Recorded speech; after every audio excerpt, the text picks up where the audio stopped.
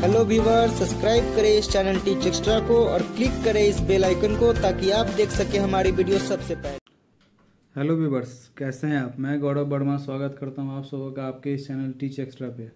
तो चलिए देखते हैं आज का question number one today question का question number one number one codes consist of light and dark marks which may be optically read is known as तो इसका राइट आंसर बहुत लोग इसको डिकोडर बोल रहे थे बट इसका राइट आंसर होगा bar code option number B होगा इसका right answer bar bar code क्या होता है?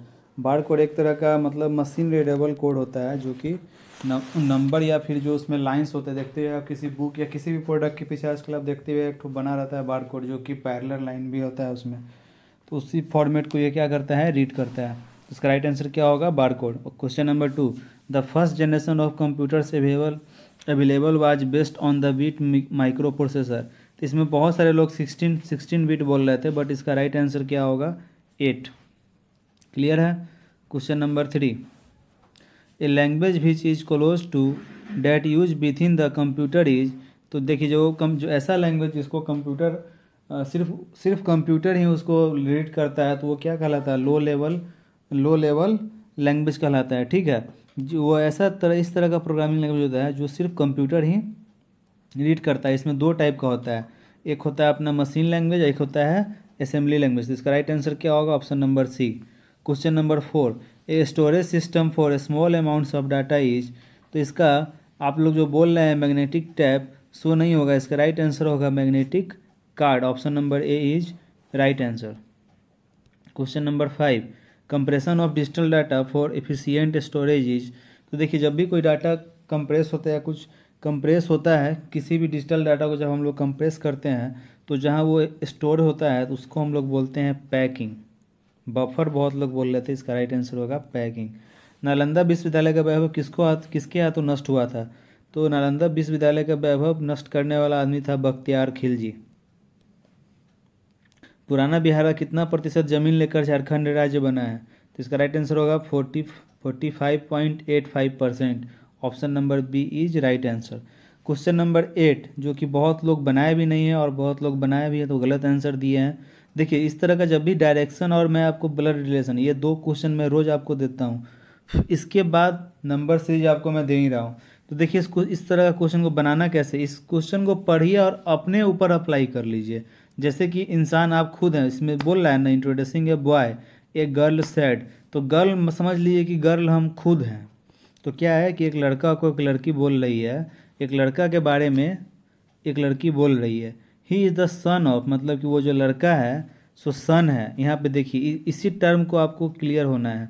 He is the son of the daughter जो वो लड़का है, सो सन है। डॉटर ऑफ़ द फादर वो जिसका सन है, और उसका पापा ऑफ़ माई अंकल मतलब कि उस लड़की के चाचा के, उस गर्ल्स के, अंकल के, पापा की जो बेटी है, उसका बेटा है वो लड़का। ठीक? तो देखिए, यहाँ पे आप क्या समझे ये लड़की हो गई, मान लीजिए ये लड़की सीता लड़की है, ठीक? और इसका चाचा और उसकी बहन तो ये जो बी हुई, सो क्या हुई? चाचा की बहन मतलब कि सीता की ये फुआ लगी और उसका बेटा क्या लगेगा इसका? फुफेरा भाई लगेगा तो इसका राइट आंसर क्या होगा? ब्रदर क्लियर है? Question number nine six four three two six four three two divide eight divide question mark equal to twelve तो जब भी ऐसा क्वेश्चन होता है तो हम लोग क्या करते हैं? जैसे ही इक्वल टू के उधर जाएगा तो इसको लिख सकते हैं। एक मल्टीप्लाई में चला जाएगा तो sixty four three by two और ट्वेल्व इंटू एट इस तरह हम लिख ही सकते हैं। अब इसको काटेंगे हम लोग एट से। एट एट जा sixty four and eight four जा थर्टी टू तो यहाँ पे पहले थ्री आ गया, इसलिए बीच में एक ज़ीरो देकर एट फोर जा थर्टी टू अब ट्वेल्व से काटेंगे। ट्वेल्व सिक्स जा सेवेंटी टू तो बच गया एट एट्टी फोर तो ट्वेल्व सेवन जा एट्टी फोर तो इसका राइट आंसर क्या होगा? Sixty seven option number B question number ten ये देखिए, ये नंबर सीरीज़ थोड़ा सा हार्ड लेवल का हो गया हुआ था। इतना ज़्यादा भारी क्वेश्चन आपसे पूछेगा नहीं। तो देखिए, इसको बनाना कैसे था? पहला स्टेप क्या है?